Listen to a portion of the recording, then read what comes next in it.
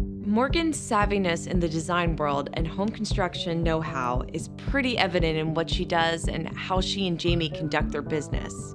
We asked her why smart home technology was so important and how she uses it in her own life.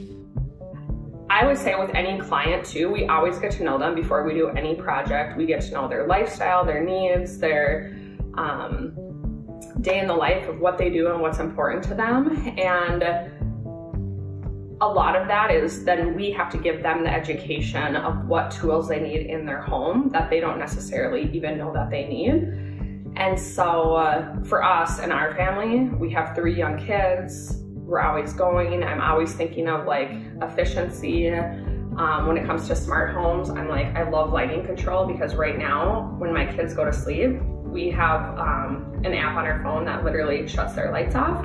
Um, what I'm super excited um, with working with you guys and Mr. Sparky is that the because we have a nine month old too, and I'm always thinking about carbon monoxide. so I'm like, yeah. now knowing that alert is gonna come on, I'm like, that just gives me peace of mind. And then also just with the cameras and the doorbell, I'm very excited that, you know, we get packages delivered all the time we talked about and um, we also, you know, do have people showing up here and having an online presence. So I'm like, that will be peace of mind too, just knowing like we have extra security at our home and yeah, with deliveries and construction style, it's like we're getting in thousands of dollars of products dropped off. Sometimes we're not home. Um, so we just want to make sure that we have an eye on it. And now we're setting up the security in the shop as well.